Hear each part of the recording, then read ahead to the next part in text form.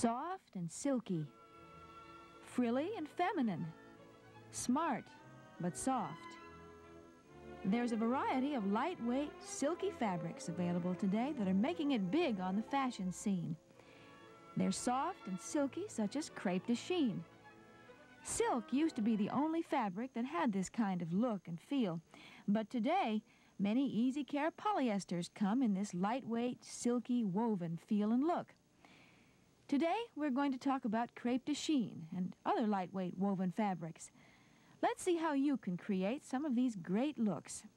Silk crepe de chine uses highly twisted yarns to give the fabric its characteristic texture Information on the fabric bolts will give you clues to how synthetics become silky. Textured polyester, for instance, often means that heat has been used to set a crimp in the polyester fibers. Trilobal polyester means that the fibers, instead of being round like straws, are more triangular. This gives the fabric softer drape and a luxurious sheen instead of a bright shine. Crepe de chine is tightly woven. That means the crosswise threads are very close together. Here's Ray Riley, Iowa State University textiles and clothing specialist, with some advice on choosing a good pattern. Since crepe de chine gathers and drapes so nicely, we'll want to take advantage of that as we select patterns. All these gathers will be really nice and silky fabrics. On this pattern, the draped neckline is very elegant. Remember, when you're working with tightly woven fabrics like these, they don't ease quite as easily as some of the more loosely woven ones, but they will ease well enough to do a smooth sleeve cap, such as we have here. Another good feature about this pattern is that the side seams are a bit on the bias. Lengthwise seams tend to pucker a bit, so this is a good feature. Here we have some good blouses. These ruffles will be very, very soft and pretty. Plain neckline can be very attractive in silky fabrics, and these gathers will add a nice hint of softness. These more tailored styles are fine too. These pleats will look very good. And these collars will be fine too, as long as they don't have to be too stiff. Machine buttonholes are fine to use on these silky fabrics as long as you interface the buttonhole and button area. One thing that's not too good here, though, is all the vertical top stitching. That will tend to pucker. This is a more tailored style, but the soft neckline, the sleeves, and the fullness in the bodice make it appropriate for silky fabrics. You really need a stiffer fabric to make this style. So, if it's a soft, drapey look you're after, all you have to do is team up with one of today's softer styles and one of the many easy care, lightweight, silky wovens, such as crepe de chine.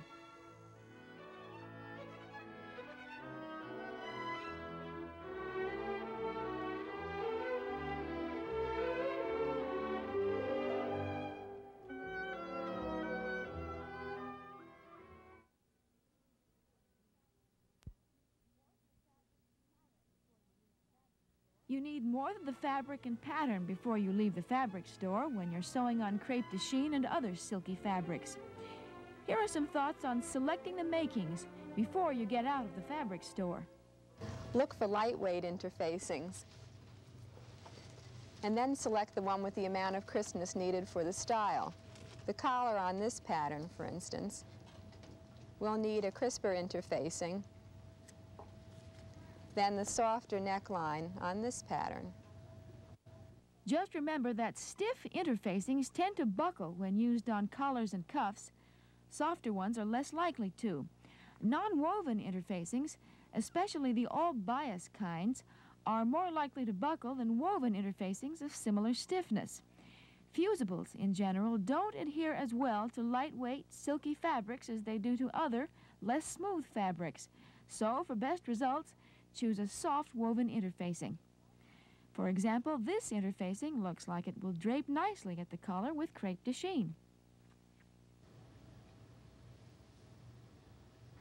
Select the softest, smoothest thread you can find. Look for the ones that are labeled extra fine for lightweight fabrics and machine embroidery. They're usually found in a special place in the thread counter. Long staple polyester thread is the second best choice. It's a little thicker, but it's soft and it's less wiry than the general purpose polyester or cotton covered polyester threads that you use for everyday things. A fine, soft thread helps make for smooth, less puckered seams. With crepe de chine, a sharp needle is a must, not a ballpoint needle. Even universal needles may give you trouble. If your needle isn't sharp enough, it will pull threads in the fabric. Look for those labeled for lightweight woven fabrics. Besides being sharp, that needle should be the finest needle you can find. A number 11 or 75 is a good choice. Number 9 or number 65 is even better. While thinking about sharpness, how's your pin supply at home? If you have a lot of bent or thick pins or ones with damaged points, better buy a supply of fine silk pins or extra thin pleating pins. Thick or damaged pins, and needles, will damage the fabric, making holes or even causing long pulled threads. Finally, look for flexible zippers.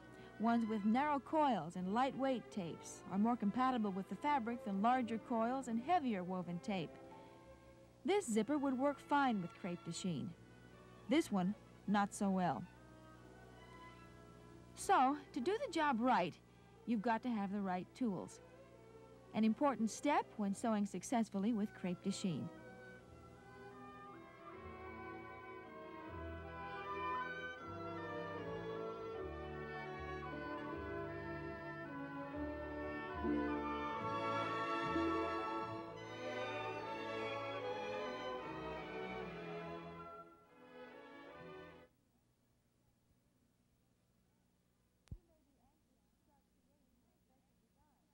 You may be anxious to start creating your special design and wanting to get on with the cutting and marking. But before that, it's important first to wash and dry the fabric and interfacings. This removes excess finish, making it easier to sew on. These fabrics pick up oil and grease easily. So, make sure washer and dryer surfaces are very clean. If you want to cut down on static at the rinse cycle, add a fabric softener. Those fabric softener sheets used in the dryer may cause what look like marks on the fabric. Then you can cut. Here's Ray Riley with some tips. Since the fabric is slippery, I use a cardboard cutting board. That way, I can line up the fabric with the lines of the board, and I can even pin the fabric to the board if I want to. Now, when you put the pattern pieces on the fabric, Try to pin just in the seam allowances whenever you can. Also, be sure to use sharp shears for cutting. Make sure the blades are sharp and that they cut with smooth action. You want a nice, smooth cut edge. Use a shears that isn't sharp, and you could end up with a ragged seam edge or even pulled threads. Be careful about marking the fabric. Tracing carbon can leave little grease spots when the fabric is pressed. Using pins to mark darts and other points and making short clips in the seam allowances are easy, quick ways to do marking.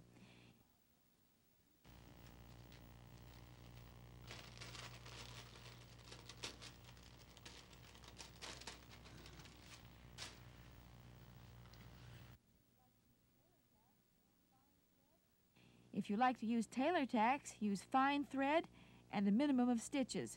Leave long tails.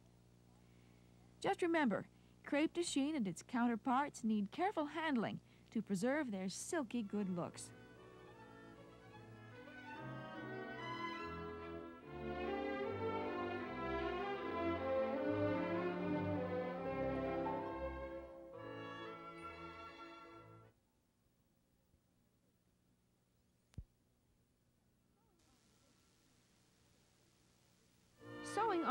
De chine and other silky fabrics can be pesky business. So here are some tips for good-looking seams. It may take a while to regulate your machine to make the best seam. Lengthwise seams tend to pucker. That's because the fabric is so tightly woven and has so little give lengthwise. First, be sure the machine is clean. Don't oil the machine just before sewing on lightweight, silky fabrics. Machines differ in what needs to be adjusted to form a good stitch. Just be sure to experiment first on some scrap material to be sure you're happy with the results. It may help to put in a new, sharp, fine needle. That will make a small, neat hole. Use a loose tension, but one that will still let you form a good stitch. You'll probably need to loosen both the upper tension and the bobbin tension. Use 9 to 10 stitches to the inch. Using a smaller stitch length squeezes more thread into the already crowded fabric. If you have two throat plates for your machine, try the one with the small hole rather than the wide one used for zigzags. The small hole helps keep the light fabric from going down into the machine, a situation that causes skipped stitches. Likewise, a straight stitch foot may give you a better stitch than a zigzag foot with its wider opening. Then, Ray Riley says, you're ready for some testing.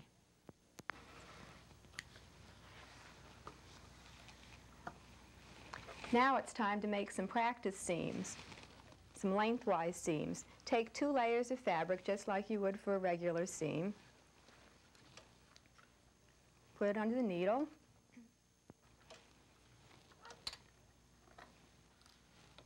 And stitch.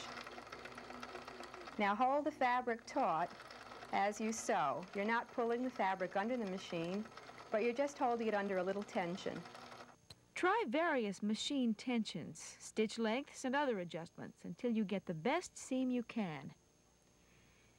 It may still be a little puckered.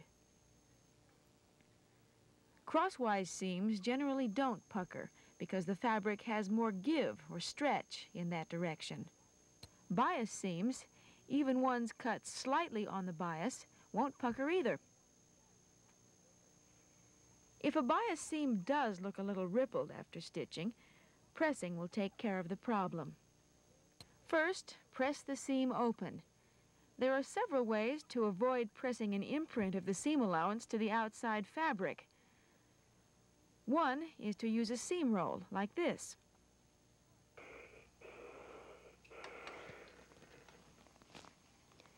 If you don't have a seam roll, you can use a sturdy cardboard tube. Or you can even take a magazine and roll it up tight and then cover it with fabric as I've done here. And still another alternative is to use heavy paper strips what you would do here then is to place the strips under the seam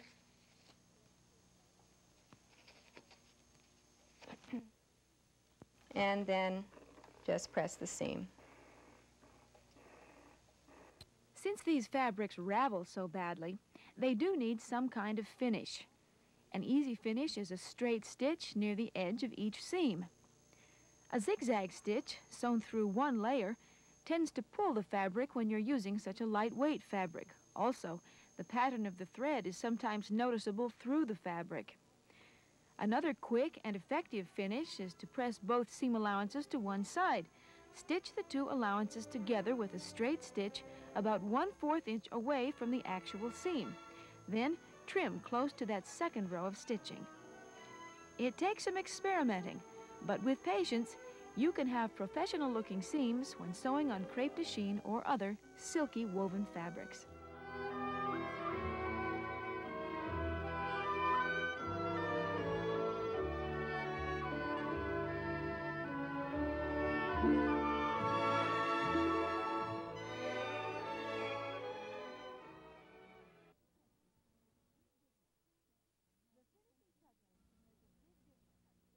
The finishing touches can make a big difference in how professional a garment appears.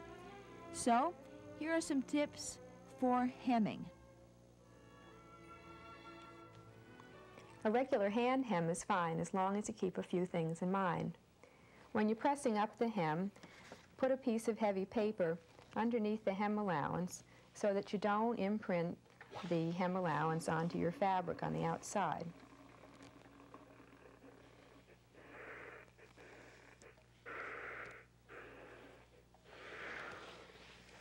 Then, if the fabric frays a lot, it would be a good idea to turn under the edge about a quarter of an inch and press that down.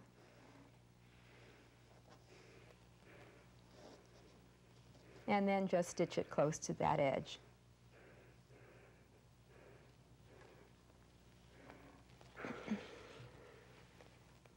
If the fabric doesn't fray too much, then you can just stitch about a quarter of an inch from the edge with a regular straight stitch.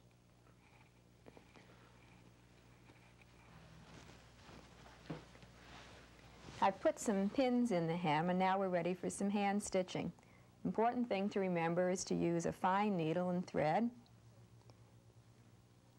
And then that we're going to take stitches in between the two layers of fabric, not over the top. Take one little stitch from the outside layer of fabric and then a little stitch in the hem allowance. Keep the stitches loose.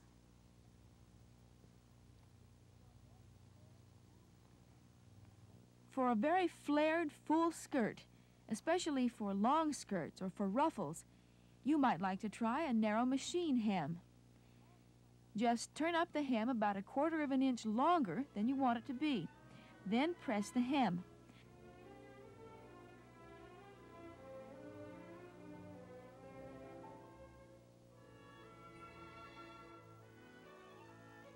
Stitch close to the fold. Trim close to the stitching.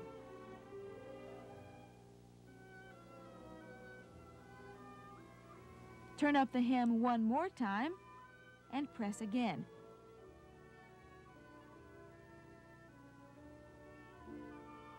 Finally, stitch again, close to the fold.